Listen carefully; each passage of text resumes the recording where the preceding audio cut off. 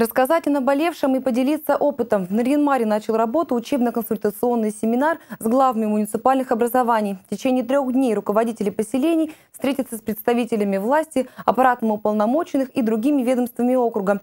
Дискуссионные площадки станут местом обсуждения и совместного решения актуальных для населенных пунктов округа вопросов.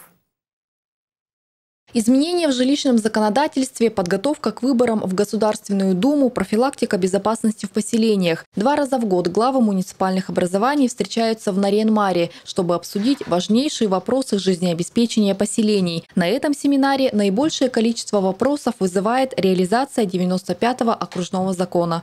У меня 15 семей, молодых в том числе, куда нужно поселить.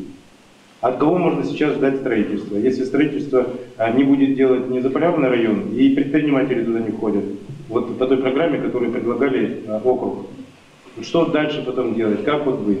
Главы сетуют. Полномочия по всем отраслям переданы округу, а спрос с них никто не снимал. Все вопросы по исполнению окружного закона были заданы председателю постоянной комиссии по государственному устройству и местному самоуправлению собрания депутатов. Это не догма. Его можно отрегулировать. Э, мы его регулируем и в соответствии с теми проблемами, которые возникают при исполнении 95-го закона.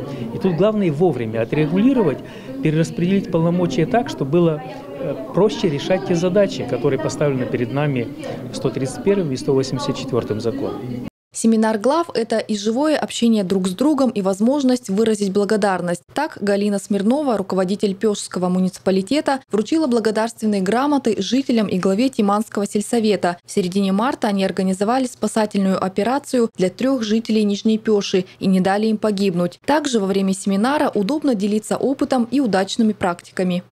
Еще на прошлых семинарах мы вносили предложение руководству, что хотели бы посетить э, муниципальное образование с целью перенять лучшие муниципальные практики.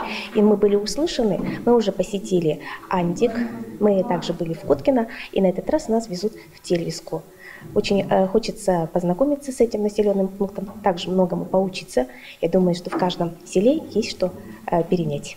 Поездка в Тельвиску состоится сегодня. Глава муниципалитета Александр Чурсанов познакомит делегацию с объектами жизнедеятельности села, инфраструктурой и частным фермерским хозяйством.